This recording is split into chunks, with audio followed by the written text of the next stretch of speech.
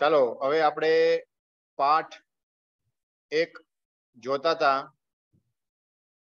રાસાયણિક પ્રક્રિયાઓ અને સમીકરણો. જેની અંદર આપણે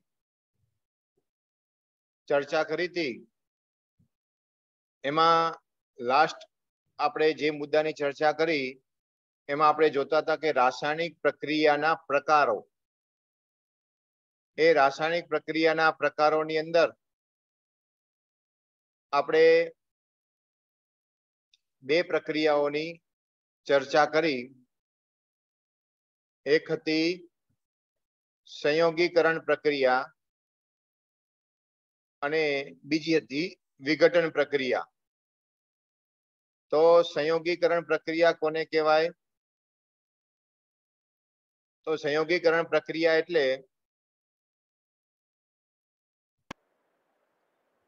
જે રાસાયણિક પ્રક્રિયાની અંદર બે અથવા બેથી વધુ પ્રક્રિયકોમાંથી એક જ નિપજ બને. તો એને સંયોગીકરણ પ્રક્રિયા કહેવાય. અને બીજી જોઈતી આપણે વિઘટન પ્રક્રિયા. એમાં હતું કે એક જ પ્રક્રિયક હોય અને એ પ્રક્રિયકને આપણે તોડવાનો છે, એનું વિઘટન કરવાનું છે. અને એમાંથી બે અથવા બેથી વધારે નિપજો બનતી હોય, એક જ પ્રક્રિયકમાંથી બે અથવા બેથી વધુ નિપજ બનતી હોય, તો એને વિઘટન પ્રક્રિયા કહેવાય. અને વિઘટન પ્રક્રિયાની અંદર પ્રક્રિયકને તોડવા માટે ગરમીની જરૂર પડે, ઉષ્માની જરૂર પડે, ઘણી વખત વિદ્યુત પ્રવાહની જરૂર પડે. સૂર્યપ્રકાશની પણ જરૂર પડે. આવી રીતે અલગ અલગ માધ્યમોની જરૂર પડે. તો જો ગરમી આપવાની જરૂર પડે, ગરમી આપીને આપણે એ પ્રક્રિયકને તોડવાનો હોય, તો એને ઉષ્મીય વિઘટન કહેવામાં આવે. હવે ત્યાર પછીની જે ત્રીજી પ્રક્રિયા જે છે, એ છે વિસ્થાપન પ્રક્રિયા. એની આપણે ચર્ચા કરીએ કે વિસ્થાપન પ્રક્રિયા કોને કહેવાય?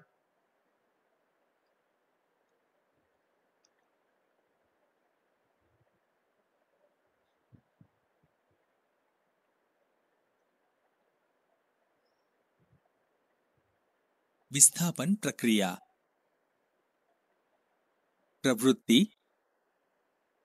લોખંડની ત્રણ ખીલીઓ લઈ તેને કાચ પેપર પર ઘસીને સાફ કરો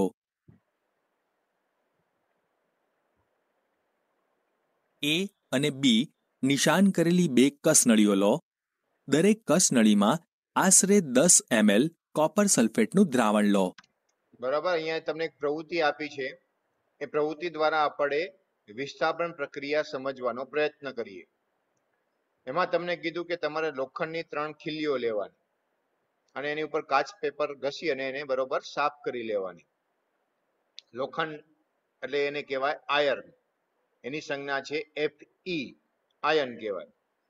હવે બે કસનળી લેવાની, જેને આપણે લેબલ અહીંયા આપેલા છે એ અને બી બે લેબલિંગ કરેલા છે એ અને બી અને એની અંદર શું ભરવાનું છે? તો કોપર સલ્ફેટનું દ્રાવણ ભરવાનું છે.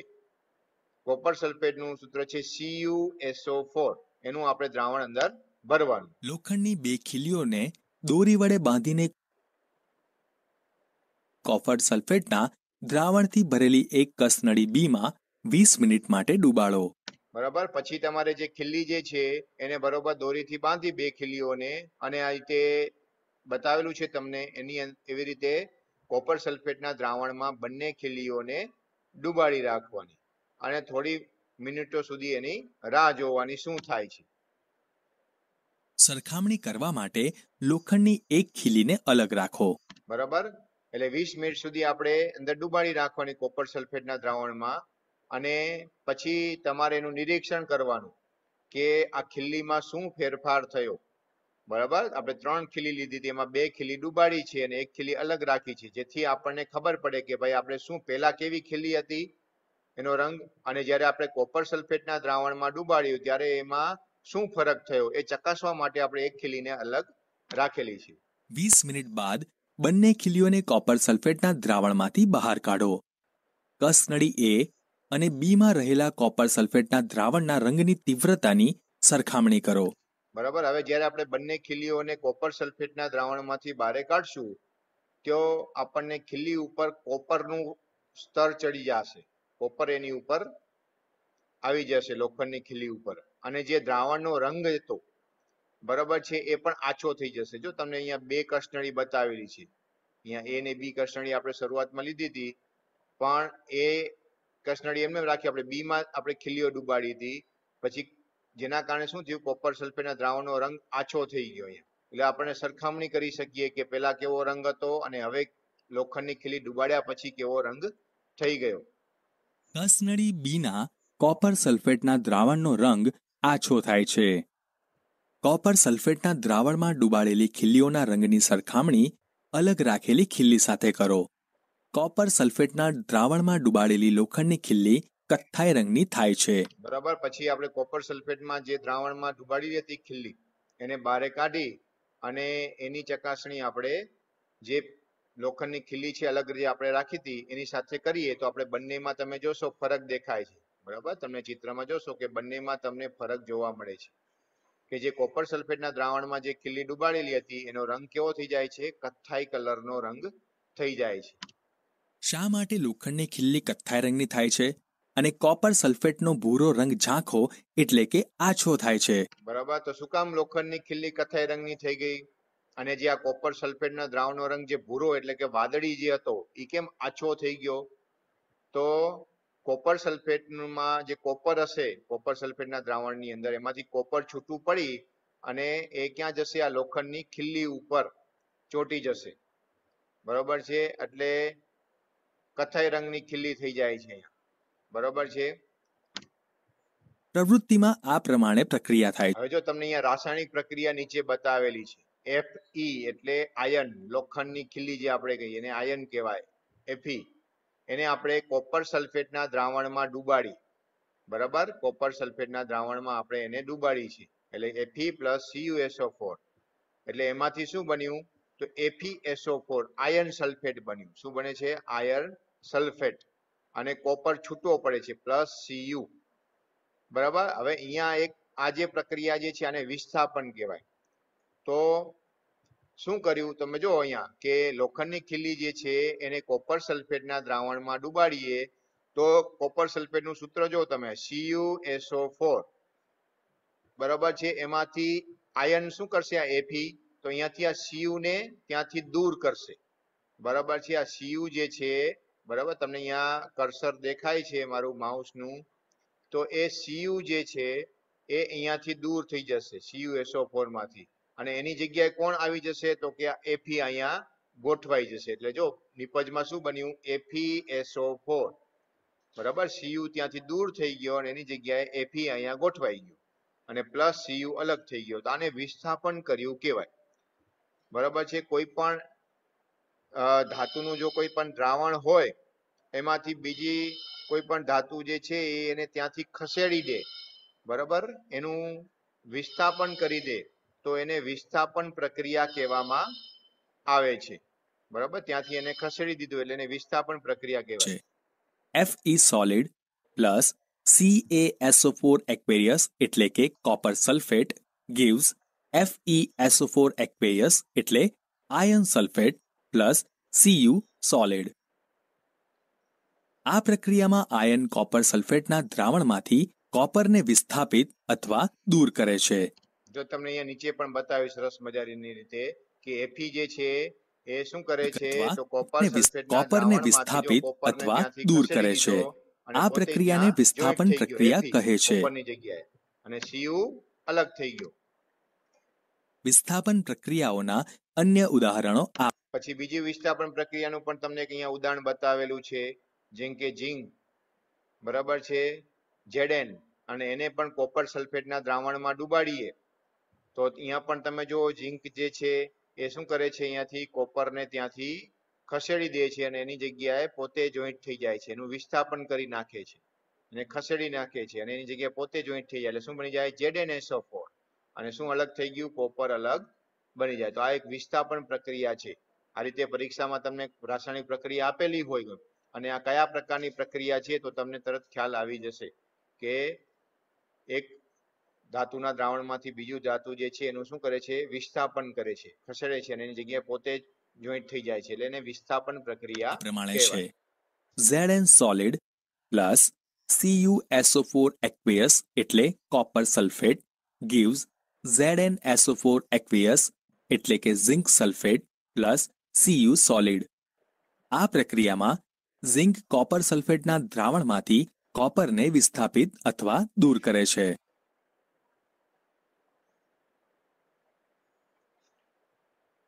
P B solid plus C U એ રીતે તમને બીજું એક, ત્રીજું એક ઉદાહરણ તમને અહીંયા આપેલું છે. પીબી નું પીબી એટલે લેડ બરોબર છે? પીબી એટલે લેડ એને પણ તમે કોપર ક્લોરાઇડના દ્રાવણમાં ઉમેરશું. તો ત્યાંથી કોપર સીયુ ને શું કરશે? પીબી લેડ દૂર કરશે. એને ખસેડી દેશે અને એની જગ્યાએ પોતે આવી જશે. એટલે કે PbCl2 બની જશે. અને કોપર અલગ થઈ જશે. એટલે કે copper chloride gives P B C L two aqueous એટલે કે lead chloride plus C U solid આ પ્રક્રિયામાં લેડ કોપર ક્લોરાઇડના દ્રાવણમાંથી કોપરને વિસ્થાપિત અથવા દૂર કરે છે. જિંક અને લેડ કોપર કરતાં વધુ સક્રિય તત્વો છે. તે કોપરના સંયોજનમાંથી કોપરને વિસ્થાપિત કરે છે. દ્વિવિસ્થાપન પ્રક્રિયા. ચાલો એના પછીની હવે પ્રક્રિયા આવે છે. પ્રવૃત્તિ. દ્વિવિસ્થાપન પ્રક્રિયા. પેલી આપ અત્યારે જે ચર્ચા કરી એ વિસ્થાપન પ્રક્રિયાની વાત કરી. બરાબર છે? કે એક ધાતુના દ્રાવણમાંથી બીજી ધાતુ એને શું કરે ત્યાંથી ખસેડી દે. એને ત્યાંથી દૂર કરે અને એની જગ્યાએ પોતે બેસી જાય. તો એને વિસ્થાપન પ્રક્રિયા કહેવાય. હવે આપણે જોઈએ દ્વિવિસ્થાપન પ્રક્રિયા. એના પછીની જે છે, રાસાયણિક પ્રક્રિયાનો પ્રકાર, એ છે દ્વિવિસ્થાપન પ્રક્રિયા. એક કસનળીમાં આશરે ત્રણ એમએલ સોડિયમ સલ્ફેટનું દ્રાવણ લો. બીજી કસનળીમાં આશરે ત્રણ એમએલ બેરિયમ ક્લોરાઇડનું દ્રાવણ લો. બંને દ્રાવણ મિશ્ર કરો. તમે શું અવલોકન કરો છો? તમે જોશો કે સફેદ પદાર્થ કે જે પાણીમાં અદ્રાવ્ય છે તેનું નિર્માણ થાય છે. બરાબર અહીંયા તમને એક પ્રવૃત્તિ દ્વારા સમજાવી દ્વિવિસ્થાપનની વાત કે એક કસ્ટડીમાં લેવાનું? સોડિયમ સલ્ફેટનું દ્રાવણ લેવાનું. અને બીજી કસ્ટડીમાં શેનું દ્રાવણ લેવાનું છે? બેરિયમ ક્લોરાઇડનું દ્રાવણ. હવે જ્યારે આપણે આ બેરિયમ ક્લોરાઇડના દ્રાવણને સોડિયમ સલ્ફેટના દ્રાવણમાં ઉમેરશું ત્યારે શું થશે? તો કે સફેદ કલરના આપણને એક અવક્ષેપ મળશે કે જે પાણીમાં દ્રાવ્ય નહીં થાય. પાણીમાં ઓગળશે નહીં એવા આપણને અવક્ષેપ મળશે. જો તમે દ્રાવણ મિશ્ર કરો. તમે શું અવલોકન કરો છો? તમે જોશો કે સફેદ પદાર્થ કે જે પાણીમાં? અદ્રાવ્ય છે તેનું નિર્માણ થાય છે. આ અદ્રાવ્ય પદાર્થને અવક્ષેપ કહે છે. બરાબર? જે આ પદાર્થ છે જે સફેદ કલરનો જે પાણીમાં દ્રાવ્ય નથી થતો એને અવક્ષેપ કહેવાય. બરાબર? એવી કોઈ પણ પ્રક્રિયા કે જે અવક્ષેપ ઉત્પન્ન કરે છે તેને અવક્ષેપન પ્રક્રિયા કહે છે. બરાબર? આ રીતે કોઈ રાસાયણિક પ્રક્રિયાની અંદર જો અવક્ષેપ ઉત્પન્ન થતા હોય તો એને શું કઈ પ્રકારની પ્રક્રિયા કહેવાય? અવક્ષેપન પ્રક્રિયા કહેવામાં આવે. Na2SO4 aqueous એટલે કે sodium sulphate plus BaCl2 aqueous એટલે કે barium chloride gives BaSO4 solid એટલે કે barium sulphate plus two N A C L aqueous. જો હવે તમને એની રાસાયણિક પ્રક્રિયા અહીંયા બતાવેલી છે, ધ્યાનથી સમજો સોડિયમ સલ્ફેટનું દ્રાવણ લીધું હતું આપણે, અને બીજું લીધું બેરિયમ ક્લોરાઇડનું. બરાબર? બંનેના દ્રાવણ લીધા હતા અને બંનેને આપણે મિક્સ કર્યું. બેરિયમ ક્લોરાઇડના દ્રાવણને શેમાં ઉમેરી દીધું સોડિયમ સલ્ફેટના દ્રાવણમાં આપણે ઉમેર્યું. તો તમે ઉપર જોઈ શકો છો કે અહીંયા તમને એક સફેદ અવક્ષેપ તમને જોવા મળે છે. બરાબર છે અવક્ષેપ આપણને મળ્યા. હવે અહીંયા આપણે સોડિયમ સલ્ફેટ અને બેરિયમ ક્લોરાઇડનું દ્રાવણ લઈ અને બંનેને મિક્સ કર્યું ત્યારે આપણને સફેદ અવક્ષેપ મળ્યા. એ કયા અવક્ષેપ મળ્યા છે? બેરિયમ સલ્ફેટના. બરાબર? BaSO4 બેરિયમ સલ્ફેટના અવક્ષેપ મળ્યા. અને બીજું મળ્યું આપણે એનએસીએલ સોડિયમ ક્લોરાઇડ આપણને મળ્યું. હવે જો તમે પ્રક્રિયા ધ્યાનથી જો કે સોડિયમ ક્લોરાઇડમાં સોડિયમ Na બરાબર? મારું કર્સર તમને અહીંયા ત્યાં દેખાતું હશે સ્ક્રીન ઉપર કે સોડિયમ એટલે એને પછી પ્લસ બેરિયમ ક્લોરાઇડ એમાં બી એ બરાબર છે? બી એ તો શું કરશે? જો આ સોડિયમ જે છે ને એ કોઈની જગ્યાએ ગોઠવાઈ જશે? આ બી ની જગ્યાએ. આ બી એ જે દેખાય છે, ત્યાં સોડિયમ ગોઠવાઈ જશે. અને બી એ જે છે એ કોની જગ્યાએ આવી જશે? અહીંયા સોડિયમની જગ્યાએ. એટલે બંને એકબીજાનું શું કરે છે? વિસ્થાપન કરે છે. બંને એકબીજાને ખસેડે છે. સોડિયમ બેરિયમને ખસેડે, બેરિયમ સોડિયમને ખસેડે. બંને એકબીજાના સ્થાન બદલી નાખે છે. બેરિયમની જગ્યાએ સોડિયમ આવી જાય અને સોડિયમની જગ્યાએ શું ગોઠવાઈ જાય છે? બેરિયમ. જો તમે નિપજમાં શું બન્યું? BaSO4 જેમ Na2SO4 હતું, એની જગ્યાએ એને દૂર થઈને ત્યાં Ba ગોઠવાઈ જશે. એટલે BaSO4 થઈ જાય છે. અને જે BaCl2 હતું, બેરિયમ ક્લોરાઇડ એમાં Ba દૂર થઈ અને એની જગ્યાએ આ સોડિયમ ગોઠવાઈ જાય છે એટલે NaCl થઈ જાય છે. બરાબર? પ્લસ NaCl નિપજમાં આપેલું છે. તો આને કહેવાય દ્વિવિસ્થાપન. આપણે આગળની જે વિસ્થાપન પ્રક્રિયા જોઈ હતી, એમાં એક જ ધાતુ, બીજી ધાતુના દ્રાવણમાંથી એનું ખાલી વિસ્થાપન કરતું, એની જગ્યાએ પોતે ગોઠવાઈ જશે તો અહીંયા તમે જો બંનેના જે દ્રાવણો જે છે, એમાં બંને ધાતુના દ્રાવણો એકબીજામાં શું કરે છે? ખસેડે છે. એકબીજાના દ્રાવણમાંથી એ ધાતુનું વિસ્થાપન કરે છે. અને એની જગ્યાએ બંને પોતે પોતે પોતે એકબીજા સામાં દ્રાવણમાં ગોઠવાઈ જાય છે. બરાબર છે? તો આને દ્વિવિસ્થાપન પ્રક્રિયા એટલે કે કહેવાય. Sodium chloride. આમ થવાનું કારણ શું? Na2SO4 ના દ્રાવણમાંથી SO42 માઇનસ આયન અને BaCl2 ના દ્રાવણમાંથી Ba પ્લસ ટુ આયન વચ્ચે જો હવે તમને અહીંયા પ્રક્રિયા બતાવી કે એને SO4 જે છે એના દ્રાવણમાંથી SO4 શું થાય છે જો દૂર થયું અને જો આ બાજુ આવી ગયું નિપજ બાજુ અહીંયા બતાવ્યું છે તમને. તમને અહીંયા બતાવે છે છો BaCl2 ના દ્રાવણમાંથી Ba આયન વચ્ચે પ્રક્રિયા થઈ.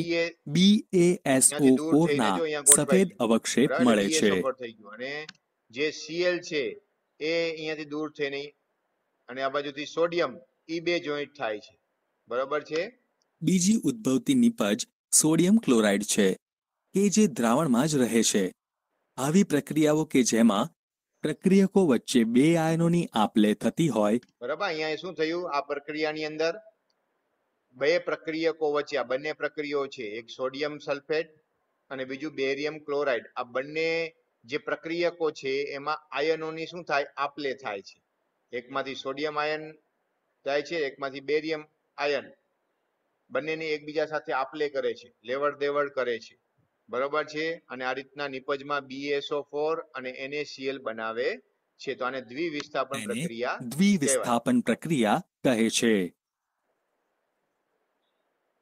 પ્રવૃત્તિ યાદ કરો કે જેમાં લેડ નાઇટ્રેટ અને પોટેશિયમ આયોડાઇડના દ્રાવણને મિશ્ર કરેલા છે.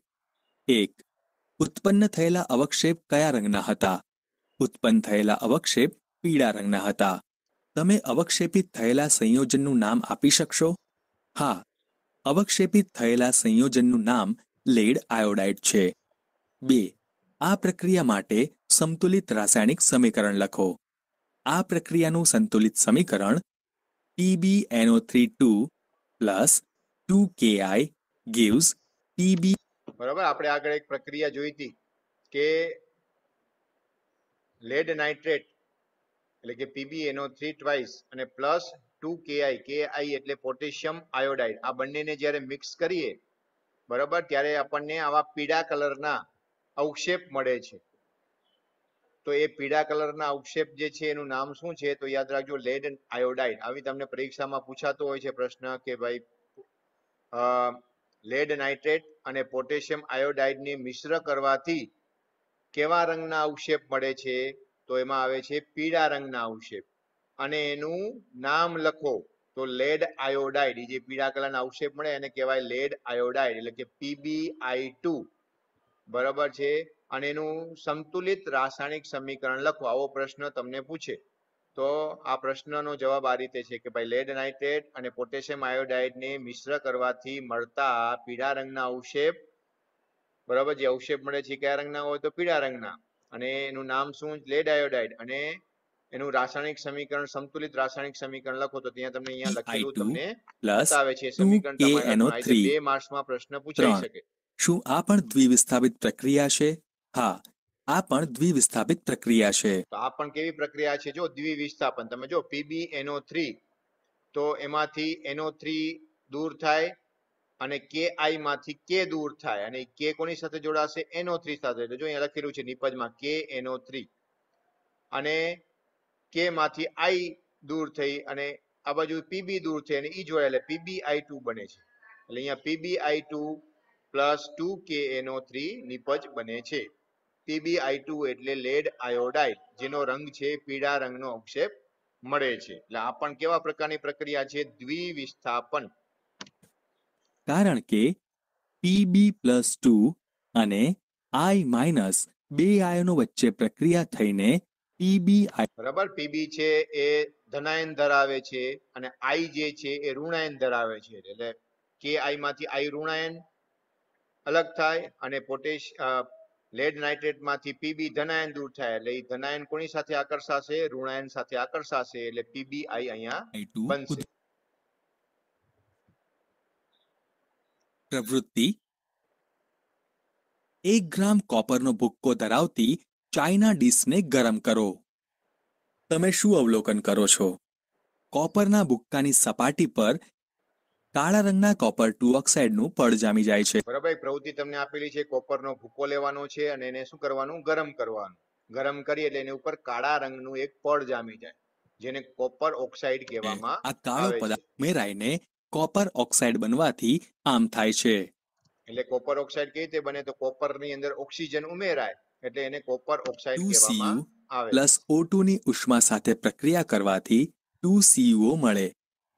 બરાબર? એટલે કોપર જે છે એટલે કે Cu એની એમાં પ્લસ O2 એટલે ઓક્સિજન એમાં ઉમેરાણો. એને આપણે ગરમ કર્યો. કોપરને આપણે ગરમ કરીએ એટલે કાળા રંગનું થઈ જાય. કાળા રંગનું શું કામ થાય? તો એની અંદર ઓક્સિજન ઉમેરાણો. એટલે Cu પ્લસ O2 એટલે એમાંથી બનશે Cu સીયુઓ મળે. CuO કોપર જો આ ગરમ કરેલા પદાર્થ એટલે કે CuO પરથી હાઇડ્રોજન વાયુ પસાર કરવામાં આવે હવે આ જે કોપર ઓક્સાઇડ જે છે એમાં આપણે હાઇડ્રોજન વાયુ પસાર કરીએ પ્રતિગામી એટલે કે ઊંધી પ્રક્રિયા થવાના કારણે સપાટી પાછો કાળો રંગ છે એ દૂર થઈ જશે. બરાબર? અને વળી પાછું જે કોપર પેલું હતું એવો ને એવો રંગનું સપાટી બની પરનું કાળા રંગનું આવરણ. એક કથ્થાઈ રંગમાં ફેરવાય છે અને કોપર એટલે કે તાંબુ પાછું કોપર હતું એવું એવું થઈ ગયું. કોપર એટલે તાંબુ. યાદ રાખજો તાંબા ને બીજું કોપર પણ કહેવાય. છે. CuO પ્લસ સાથે Q જો આપણે Cu એટલે કોપર ઓક્સાઇડ કાળા રંગનું હતું તો એમાં પ્લસ હાઇડ્રોજન ઉમેર્યો H2 તો એમાંથી વળી પાછો કોપર જે પેલા હતું એવું ને એવું બની ગયું.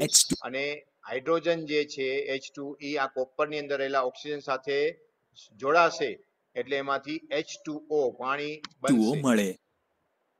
જો પ્રક્રિયા દરમિયાન પદાર્થ ઓક્સિજન મેળવે તો તેનું ઓક્સિડેશન થયું તેમ કહેવાય. બરાબર? હવે અહીંયા બીજી એક પ્રક્રિયા ઓક્સિડેશન અને રિડક્શન પ્રક્રિયાની વાત કરે છે.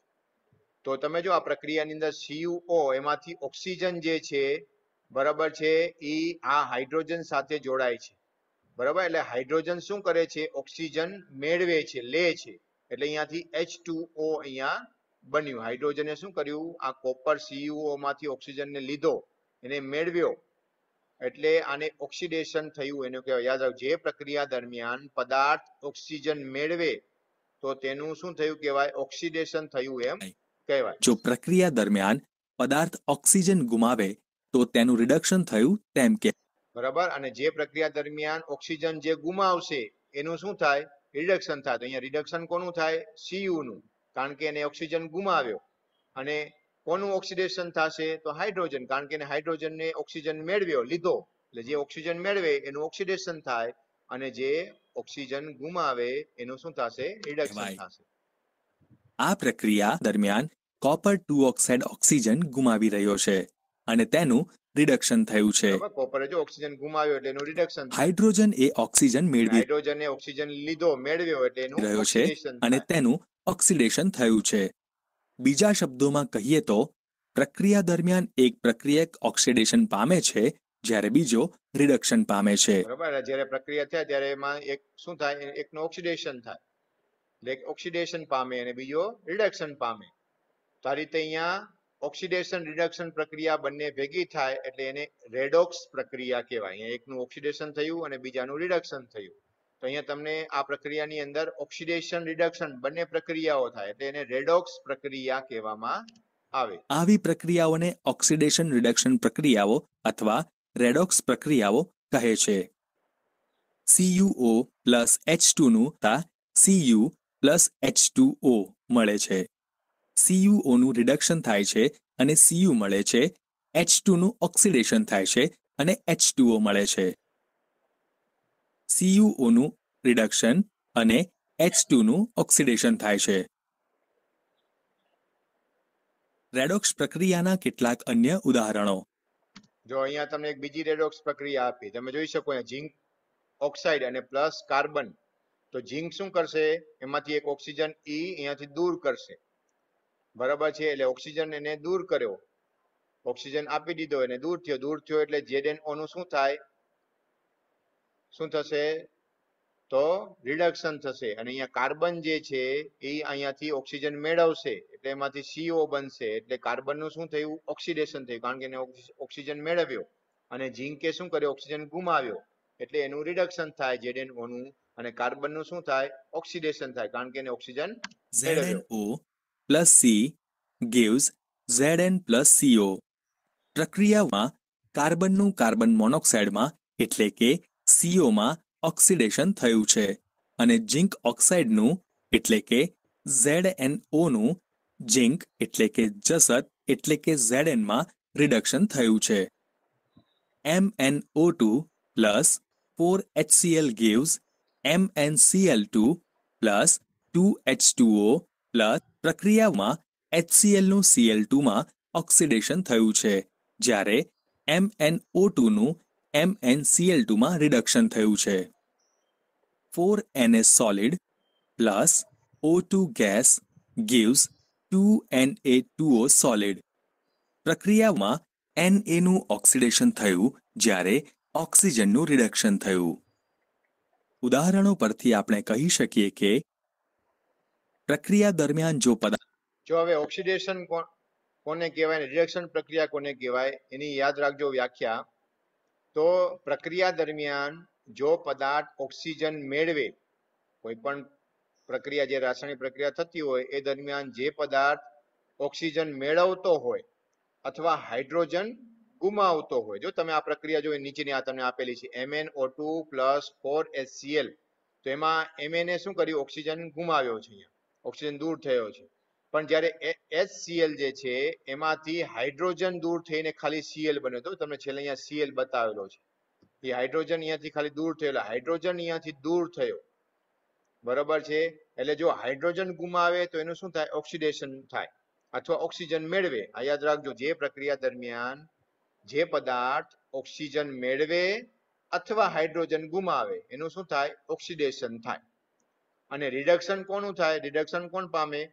તો જે પ્રક્રિયા દરમિયાન જે પદાર્થ ઓક્સિજન ગુમાવે અને હાઇડ્રોજન મેળવે. જે આ ઓક્સિડેશનની વ્યાખ્યા જે છે ને એમાં ઊંધું, ઓક્સિડેશન અહીંયા, ઓક્સિડેશનમાં શું છે?